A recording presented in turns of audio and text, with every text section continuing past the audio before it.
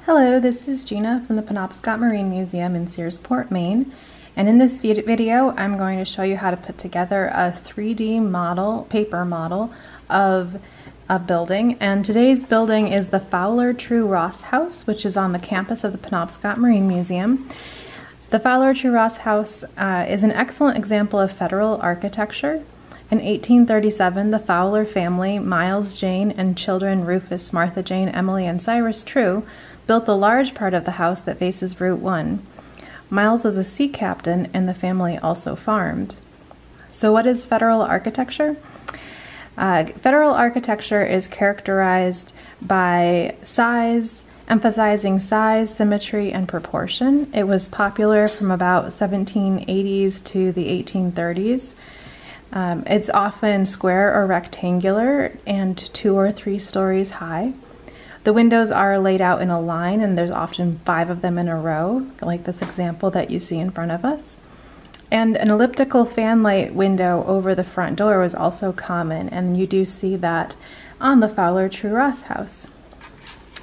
So we can get started. So what you will need for this project is the pr template printout. And I printed out on cardstock. You can do it with paper, but it's a little bit easier if you use cardstock um, something to color with. Uh, you'll need a glue stick and some scissors. And if you want to decorate for the holidays, then some glitter glue is really fun. Okay, so your first step is to color it in, and you don't really have to stay within the lines because you're going to be cutting it out anyway. So go ahead and color it in. And then after you color it in, you're going to cut it out, and you should end up with something that looks like this. When you do cut it out, make sure you kind of cut these slits here and here, and then this one right here too, because um, those are gonna fold under. So then we're gonna fold everywhere we see those gray lines. So I'm gonna fold here, and you're gonna fold in toward the back of the paper. I'm gonna fold the house first and then we'll fold the other flaps. Okay. Get that one folded.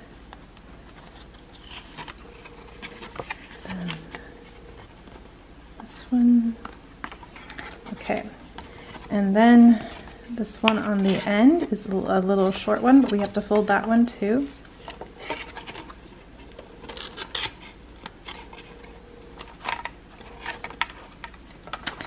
And then I'm going to fold the roof down.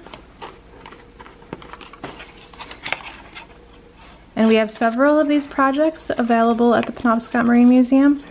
And this is one of the easier ones. If you want something a little bit more challenging, there are some more challenging ones too.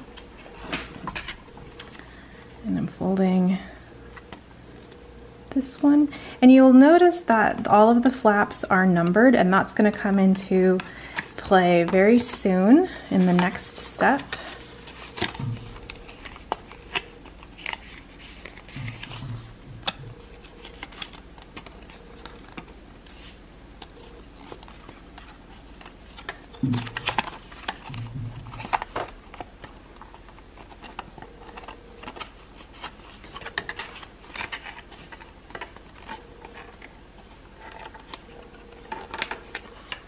and one more to fold. And then all the folding is done. Okay so now you will see that um, on this side it's kind of like the, the side that's the left of the front um, you will find number one fold and glue. So that's where we're going to start. So our goal here will be to fold that one over and then fold number two in like that. So take your glue gun, or sorry, your glue, and go ahead and fold or glue all the way on number one. And we'll do number two while we're at it as well. Kind of cover that flap with glue. And then you're gonna line the roof up with the building right there. And so there's number one is in place. And now I'm sticking number two in place. And hold them there for just a moment to kind of let that glue dry, at least enough to hold them into place. Okay. And now number three is this flap here. So we're going to go ahead and put a lot of glue on that one. And then connect it. There we go. So again, this is a pretty simple example and we are almost done. So we've done number three. Now number four, number five, and number six, we'll glue them all at the same time and then we will kind of put them together in that order.